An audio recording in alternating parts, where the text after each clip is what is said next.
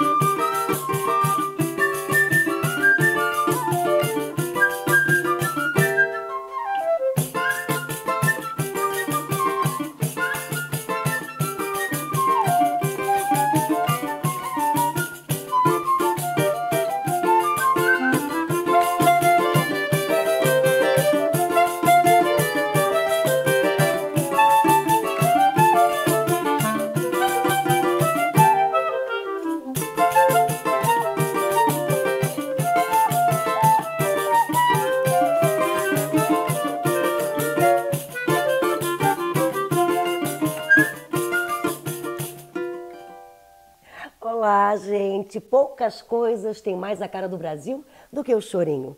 Instrumentos como violão de sete cordas, o cavaquinho, o pandeiro, flauta, entre outros. O choro se desenvolveu na mistura entre o erudito e o popular.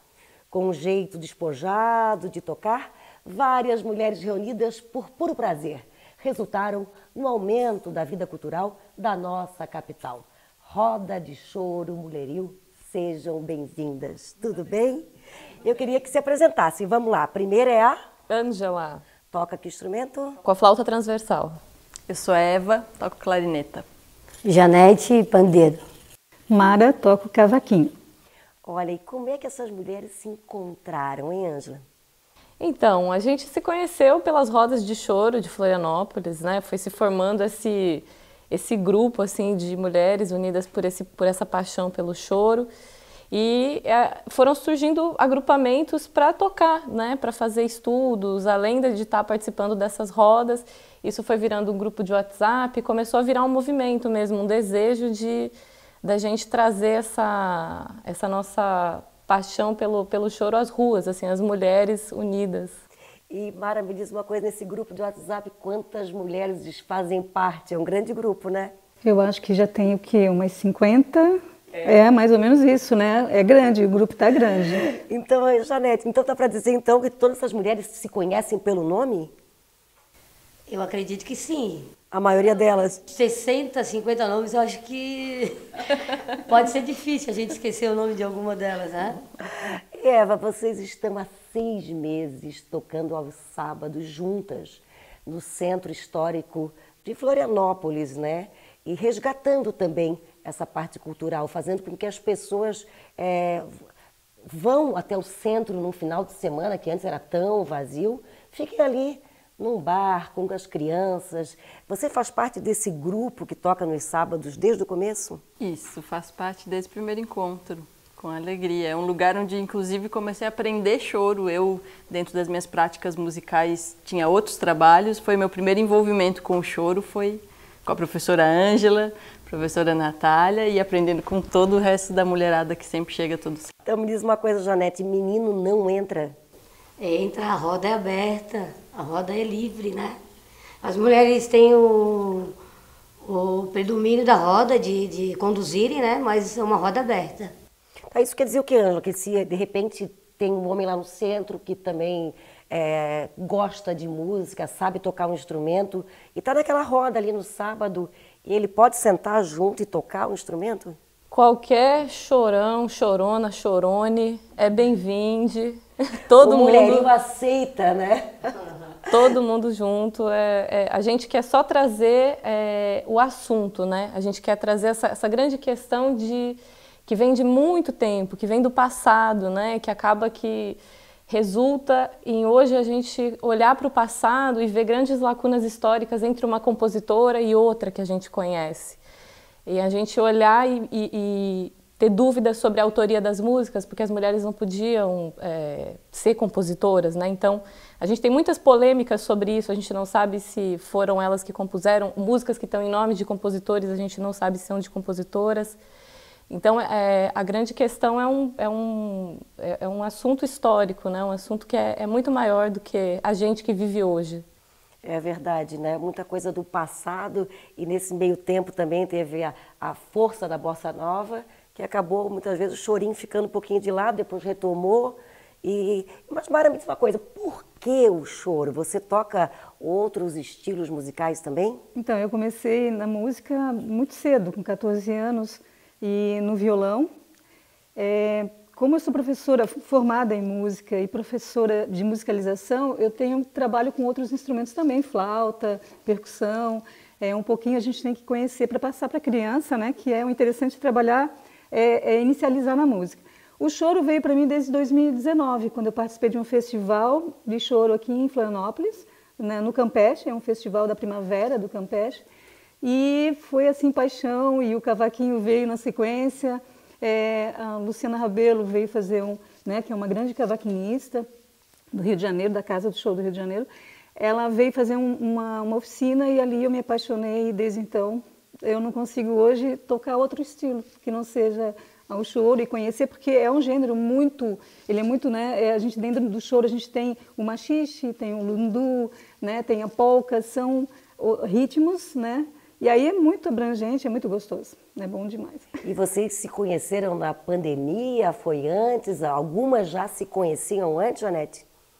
Eu conheci a Natália, inclusive eu tinha feito contato com a Natália. Pessoalmente eu não a conhecia, mas sabia que era uma grande mestre.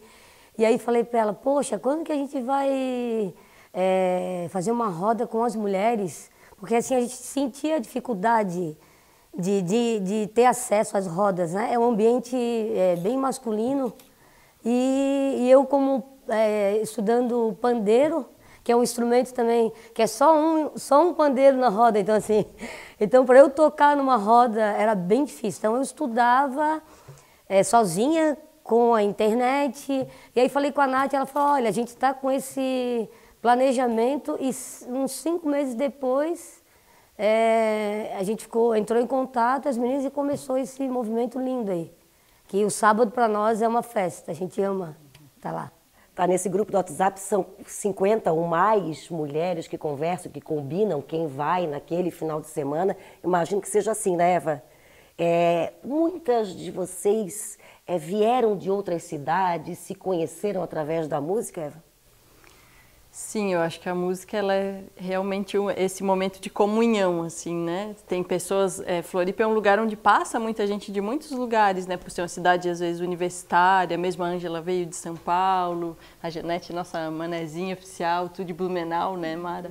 Eu nasci em Curitiba, mas me criei em Floripa, então sempre digo que sou daqui de Floripa. Tem umas meninas do Chile na roda realmente é um, é um momento de, de encontro para a gente falar essa linguagem universal que é a música, né? Essa é a coisa bonita da música. Que maravilha! E a nossa equipe esteve no Centro Histórico de Florianópolis, acompanhando, se divertindo e conhecendo mais sobre esse grupo. Vamos chamar uma matéria? Aos poucos, elas e o público vão chegando e ganhando a rua. E não é uma rua qualquer, não é a Rua Vitor Meirelles, no coração de Floripa. Então a gente vai chegando aqui aos sábados, vai devagarinho se encontrando, ajeitando seus lugares, vai passando som, trocando ideias, vamos combinando o repertório do que, que a gente vai tocar, né, o que, que a gente pode preparar, porque é tudo muito espontâneo e sempre depende muito da musicalidade de cada mulher que vem aqui contribuir e fortalecer esse movimento. Na roda, o choro é afinado. Fora dela, tem gente que dança, se alegra, outros apenas admiram e se encantam com a música e com o grupo de mulheres instrumentistas. Encantador, porque normalmente são grupos mistos, né? E essa afinidade feminina é um ouvido especial que se articula. E aqui é um lugar muito especial de se vir no sábado, né? É uma, é uma coisa familiar, é um passeio bom. Eu até trouxe a minha mãe de 82 anos, está ali sentadinha, veio de Porto Alegre também para prestigiar. Eu vim trazer ela aqui para conhecer.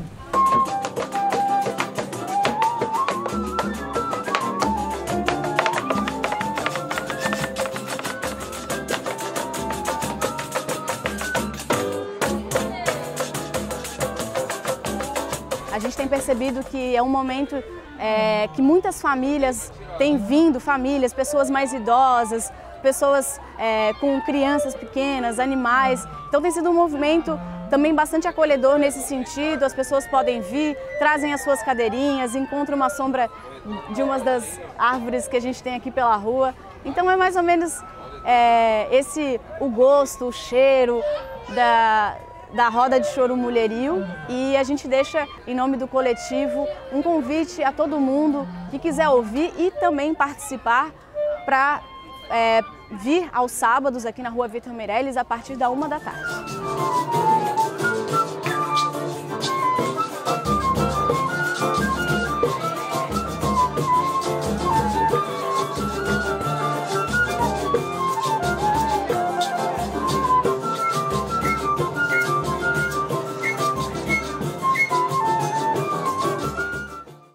Maravilha, que encontro delicioso.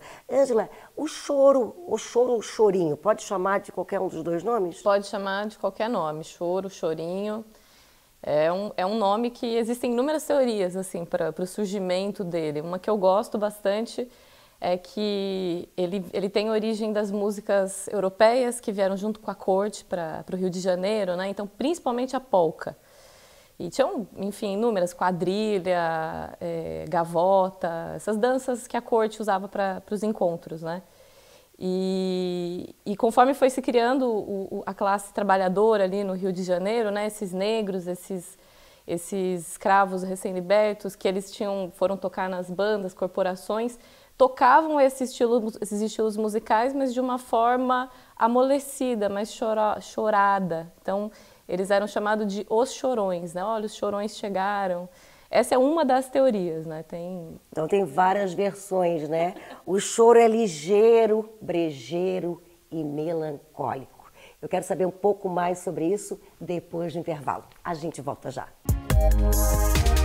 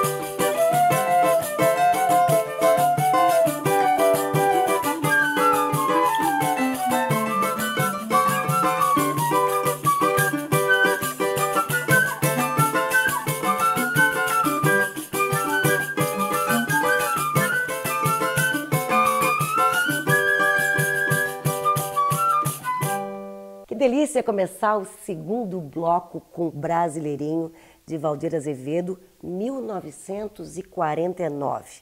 É um choro muito conhecido, é, foi tocado até na abertura dos Jogos Olímpicos. Eu estava pesquisando sobre isso, acho que de 2004, se não me engano, e quando toca, todo mundo adora, mas ele tem letra, né? E a letra foi feita depois pelo Rui Pereira da Costa, anos mais tarde. É, eu deixei aquela pergunta no, no primeiro bloco sobre o chorinho é triste, é melancólico, como a Ângela falou, ele é choroso, né? Mas ao mesmo tempo ele tem esse mix, né, Eva? Essa coisa do, do, de ser gostoso, da vontade de dançar, mas ao mesmo tempo dá uma emoção. Né? É isso mesmo? É isso. Até me admira justo a Angela falar do choroso, porque eu que gosto mais dos chorosos e ela gosta de todos os animados. Verdade.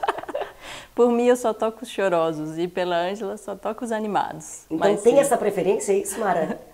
Olha, eu, bom, o choro virou paixão, eu não sei dizer, porque eu gosto de todos. Assim, tem umas melodias que realmente tocam muito, é, é uma sequência né, de, de melódica assim que é como se a gente voltasse no tempo de uma, não sei, eu, quando estive aqui no festival, justamente tive esse déjà vu, como se eu já tivesse vivido aquilo. E foi uma melodia de um choro que me trouxe isso.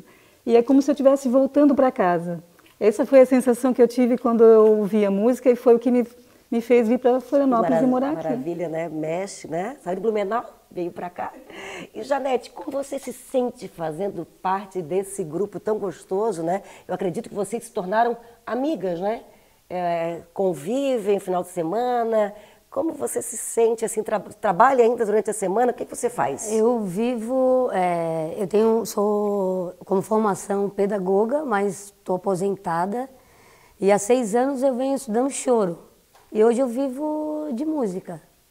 E esse grupo a gente chama de bonde, é o bonde da alegria, porque assim ó, a gente passa a semana inteira, a semana inteira já conversando sobre o sábado, a roupa que vai, é, o batom que vai usar, a música que vai tocar. Então, assim, é, para nós é uma alegria, né? É, é saúde mental isso. E Eva, além de musicista, música, você é, toca teu clarinete, você, o que faz você trabalha? Assim, dá para viver da música no Brasil? Assim, claro, muitos vivem, né? Mas é um meio difícil. Sim, eu vivo da música já fazem mais de 10 anos. Eu sou formada em música, sou mestra em música pelo, é, pela UDESC aqui de Floripa, né? E formei lá na ULM, depois chamei MESP de São Paulo em clarinete, clarinete popular. E tenho um trabalho autoral, então eu vivo entre, entre os trabalhos musicais. Tem outro projeto meu, meu junto com outros é, colegas que chama Fanfarra da Ponte, então eu transito entre esses projetos de tocar e de estudar música, né, de dar aula. O Ângela, é, você veio de São Paulo para Florianópolis, mora aqui e vive da música também? Também, também. Ah, desde. Eu preciso fazer as contas agora, mas eu acho que faz uns 15 anos. Já está quase uma manezinha, né? e vocês tiveram a ideia, por que o centro histórico, né? E não um outro lugar, um projeto que tivesse talvez um retorno financeiro, ou a coisa ainda vai acontecer, está nos planos ali? A gente subiu na onda e a gente está surfando. A, a, o centro histórico é, é, muito especial justamente por ser muito é, viável para todo mundo, né? Porque é um lugar que tanto para quem vai tocar quanto para quem vai assistir, uma roda de choro ela vive ela vive especialmente da paixão das pessoas pelo choro. Então é importante que a gente pense, quando vai fazer uma roda de choro, na, na, na, na sua própria, na, na, vida própria que ela cria. Uma roda ela é uma, uma chama que quando você acende ela não se apaga mais. Então existem rodas que existem há 50 anos. Né? No centro de São Paulo, por exemplo, na contemporânea, a roda ali existe uma roda há 50 anos que é feita ali. Então é uma coisa que a gente acende essa chama e espera que ela continue, né? E o centro é, é uma rua fechada, segura, aberta, é maravilhoso. É, um, é uma, eu que venho de São Paulo acho essa configuração da gente poder estar na rua, num lugar central, é, e seguros e, e de uma forma que é completamente aberta para quem quiser vir. Eu acho isso maravilhoso. Quem quiser fazer parte, né, ou assistir ou conhecer Imagino quantas crianças nunca ouviram, né? Nessa era de internet, de música eletrônica, muitas pessoas não têm oportunidade de apreciar e de gostar, né? Ô, Janete, você já, dessa, nesses finais de semana, vocês tocando juntas, mulherio, no centro histórico de Florianópolis, Você já percebeu algum retorno? Alguém já olhou e olhou assim, eu conheço, que legal, me ensina, vou trazer meu instrumento semana que vem. Tem alguma história para contar, Janete? Isso acontece todos os sábados. Inclusive, a gente abre a roda e já chama a pessoa para sentar na roda e fazer parte. Né? E também no domingo eu estava tocando na Lagoa e uma pessoa me reconheceu, ah, você é lá do grupo de choro mulherio. Então, assim, é, a gente está tendo uma visibilidade bem bacana. Está muito bacana é, isso. Falando em, vis em, visibilidade, vocês estão nas redes sociais. Quem quiser conhecer mais também pode ir no centro de Florianópolis. Todos os catarinenses, né? É, podem vir. Tem sempre, então, seis meses, né? Logo, logo vai fazer um ano. Eva, vocês já conversaram sobre algum novo projeto que vão fazer juntas? Sim, tem uma equipe de produção, a nossa produtora Carol Cantelli, que está pensando outros projetos, até comentando isso sobre eh, os frutos né, que a gente já está colhendo em tão pouco tempo. Eu tenho um filhinho de 5 anos que me incomodou, me incomodou para eu convidar uma amiguinha dele da escola, também de 5 anos, da turminha dele. Eu fiquei muito encucada porque não era das amigas que ele mais fala, e depois eu entendi que ele estava imaginando que essa amiga poderia gostar de tocar na roda. Então eu sinto que esse fenômeno de ter mulheres tocando povoa o imaginário também para as crianças imaginarem outras crianças, mulheres, meninas, né, outras mulheres tocando. Que maravilha, né? Abre oportunidades, né? Não só de conhecer a nossa história, quando a gente toca a música, a gente tira os problemas também que a terra nos coloca e a música nos tira, né? É, traz alegria a cada momento. Isso, esse é maravilhoso. E sobre as músicas autorais, o grupo já tem alguma, Angela? Temos a, a Nath, que é a nossa grande compositora aí, uma compositora de mão cheia, né, gente? A gente é tudo fã dela. Natália Livramento. Natália Livramento.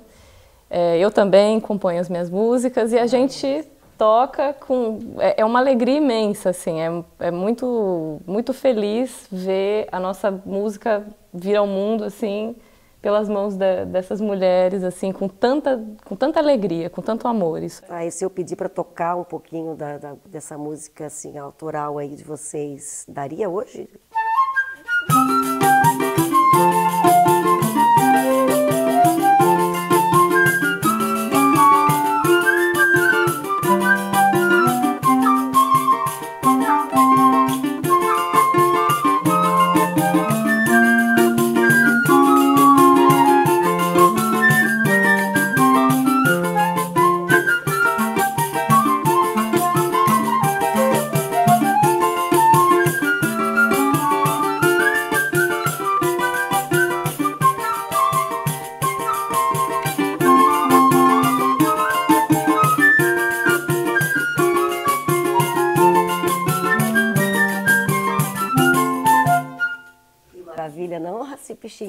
disse isso, olha já.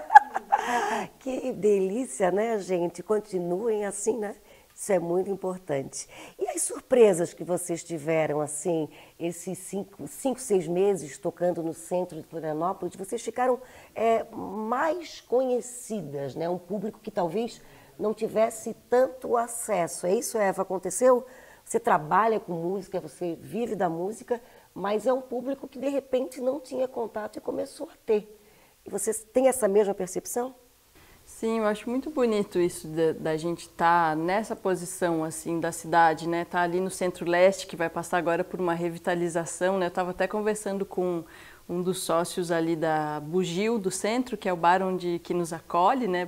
É bacana contar também desse bar que abre as portas de coração aberto para a gente e estava me contando que muito do, dos casos de, de, violência da cidade, ele me falou um número que agora eu não vou lembrar, eram nessa região da cidade e agora por estar tá movimentado, por estar tá gente lá funcionando, né, é, trabalhando, a cultura viva, então ocupando a rua com música, com dança, com festa, com balanço, isso deixa também a cidade segura, né, e dá acesso, né, porque é gratuito, a pessoa chega lá e pode entrar em contato, como tu acabou de dizer, com uma música que nem imaginava ouvir naquele dia, né?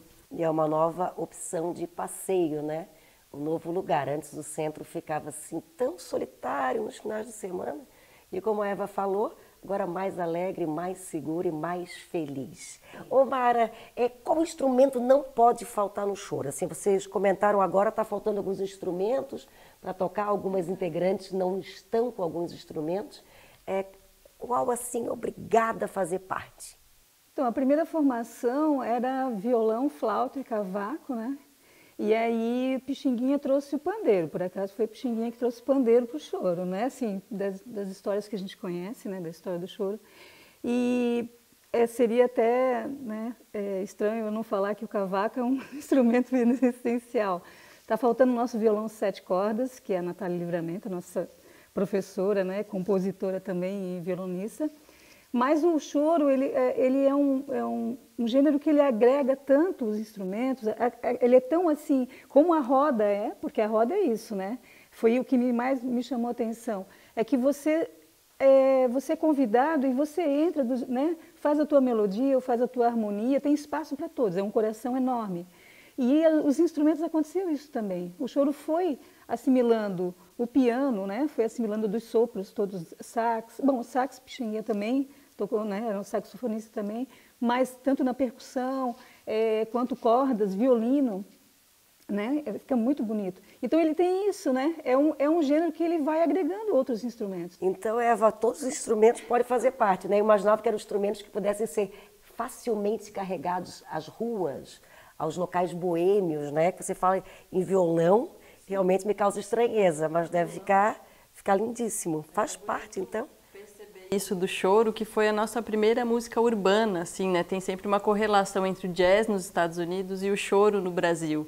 Então, na verdade, o pandeiro, que é um instrumento originalmente árabe, né, que foi talvez trazido para o Brasil por essa nossa herança moura, né, e aí o, o, o bandolim, mais essa parte ibérica, né, o bandolim, parece, eu ouvi dizer, depois vocês confiram no Google para não falar fake news, mas o, o violão de sete cordas parece ter uma herança russa, é isso mesmo? Não Sim, sei. Sim, já ouvi falar também. Então é bonito ver também essa, essa coisa viva que tu citou, né, como a própria participação dos instrumentos formam assim um Brasil que foi se formando, né? Com o, essa instrumentação coincide com a nossa própria formação enquanto povo brasileiro, né? Que o Darcy Ribeiro falava, né? Essa é nossa herança indígena, nossa herança africana, nossa herança ibérica, toda ela fundida nos, na presença dos instrumentos também, né?